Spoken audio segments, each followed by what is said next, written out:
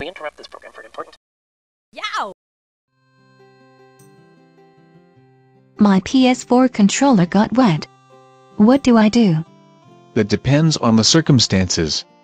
If you got mad enough to chuck it in the pool, it is probably too far gone to rescue. It is not that wet. Try turning it on, as long as it isn't still sitting in the bottom of the bathtub or pool. Do not plug in electronics that are wet enough to convey the electricity to you, or you're in for quite a shock. I'm trying to figure out how it got wet. Someone got mad and threw a coke at the screen or decided to mess with you and pour a drink on top of it. The rest of the console area is not wet. Maybe it was freezing up because it was getting too hot, so someone decided to put ice cubes on top of it to cool it down. A fan would be better. It would certainly be less likely to short it out. Another possibility is that someone connected a fan and humidifier to blow cool wet air on it and the moisture condensed on the device. What's the solution if that's the case?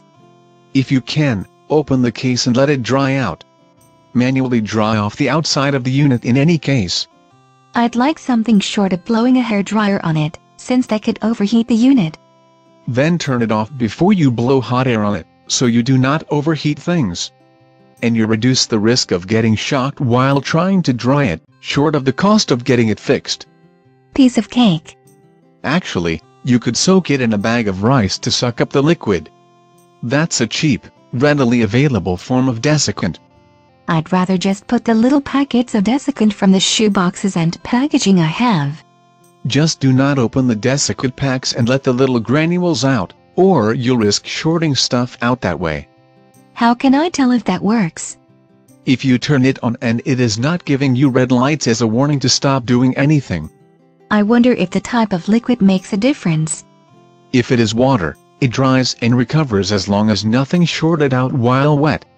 Conversely, the sticky residue left behind by soda is still electrically conductive and can continue to short things out. Which means I'm at risk of having an expensive brick. The power brick might short out, but it may simply be connectors and circuit paths. But unlike your sofa, you cannot wash it off to fix it. What do I do after I've dried it out? Reset it by powering off and back on to see if it comes on. If not, you probably do have an expensive brick.